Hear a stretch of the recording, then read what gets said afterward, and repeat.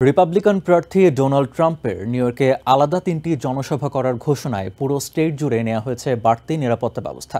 সেখানকার সবশেষ খবর জানাতে আমাদের সঙ্গে যুক্ত হচ্ছেন সহকর্মী এহসান জুয়েল। আরিফিন, যেমনটা জানিয়েছিলাম আগে সংবাদে, ট্রাম্প টাওয়ারের সামনে গত দুই দিন ধরে যেমনটি দেখা গিয়েছিল, ট্রাম্পের সমর্থকরা, রিপাবলিকানদের সমর্থকরা জড়ো হয়ে বিক্ষোভ করছিলেন, সেটি কিন্তু আজকে সকাল থেকে খুব একটা দেখা যায়নি, খুব একটা দেখা যায়নি বলতে ট্রাম্প সমর্থকদের দৃষ্টি আসলে এখন রিপাবলিকান ন্যাশনাল কনভেনশনের দিকেই। কারণ তারা মনে করছেন ট্রাম্প সেখানে কি বলে, সেটি তাদের অনেক বেশি শোনা উচিত, ট্রাম্প টাওয়ারের সামনে ভিড় করাচ্ছে। তবে গুরুত্বপূর্ণ যে বিষয়টি হলো, সেটি হলো যে ট্রাম্প টাওয়ার সহ সিটি হল এবং অন্যান্য যে গুরুত্বপূর্ণ স্থাপনাগুলো আছে, সেখানে কিন্তু এনওয়াইপিডির নিরাপত্তায় কোনো রকম শীতলতা নেই। নিরাপত্তা আগের মতো জোরদার আছে এবং এখনও দেখা যাচ্ছে ট্রাম্প টাওয়ারের সামনে থেকে শুরু করে অন্যান্য জায়গায় ব্যারিকেড, রাস্তার দুই পাশে যে ব্যারিকেডটি দেওয়া আছে, সেটি কিন্তু বহাল আছে। এবং একটু আরশি সামনের দিনগুলোতে এই নিরাপত্তা ব্যবস্থা কঠোর হওয়ার সম্ভাবনা রয়েছে, কারণ ট্রাম্প এর মধ্যে ঘোষণা দিয়েছেন তিনি নিউ ইয়র্কে তিনটি পৃথক র্যালি করতে পারেন।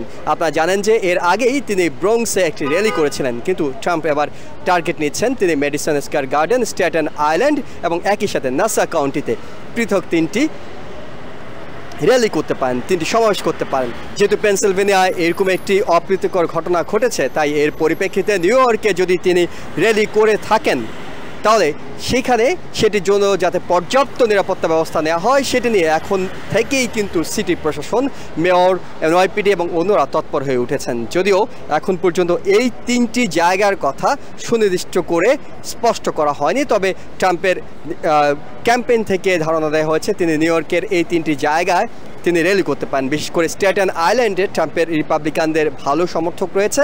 সেটি যেমন একটি গুরুত্বপূর্ণ নাসা কাউন্টিও গুরুত্বপূর্ণ। এর আগেও কিন্তু নাসা কাউন্টিতে বিভিন্ন অনুষ্ঠানে ট্রাম্প যোগ দিয়েছেন। বিশেষ করে এনওপিডির একজন সদস্য যখন মৃত্যুবরণ করেছিলেন, তার ফিউনারেলেও কিন্তু ট্রাম্প যোগ দিয়েছিলেন। তাই নাসা কাউন্টিতেও তিনি আলাদা করে র্যালি করবেন এবং নিউ ইয়র্কের প্রাণকেন্দ্র মেডিসন স্কার গার্ডেন ম্যানহাটনে সেখানেও তার র্যালি করার বিষয় রয়েছে। যেহেতু ট্রাম্পের আসলে ব্যবসায়িক থেকে শুরু করে রাজনৈতিক অনেক কর্মকাণ্ড এই নিউ থেকে পরিচালিত হয় এবং এবার তিনি যদিও নিউ ইয়র্ক ডেমোক্রেটিক অধ্যুষিত এলাকা, তারপরও ট্রাম্প ভালো একটা ভোট পাওয়ার আশা করছেন, তাই নিউ ইয়র্কে তিনি আলাদা করে বেছে নিচ্ছেন। অন্যদিকে আমরা যতদূর জানতে পেরেছি, নাসা কাউন্টির যে কাউন্টি এক্সিকিউটিভ ব্রুস ব্ল্যাকম্যান তিনি বলেছেন, এখন পর্যন্ত তার কাছে এমন কোনো তথ্য নেই, তবে এর আগে কয়েকবার ট্রাম্পের সাথে যখন কথা হয়েছিল, তখন ট্রাম্প তাকে কয়েকবারই ধারণা দিয়েছিলেন, তিনি নাসা কাউন্টিতে একটি র্যালি করার কথা ভাবছেন।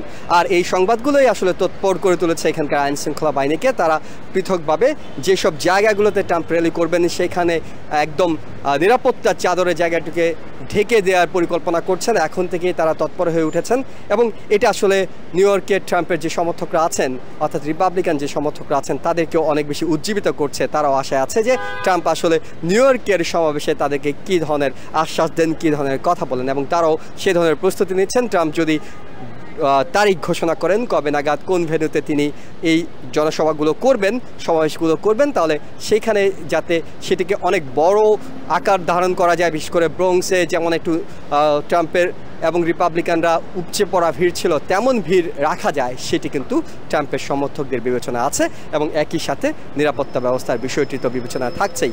এখন পর্যন্ত আরফিন এ ছিল আমার কাছে সবশেষ খবর। নিউ ইয়র্ক থেকে সম্প্রচারিত টিভিএন টোয়েন্টি ফোর টেলিভিশন বিশ্বজুড়ে বাঙালির কণ্ঠস্বর।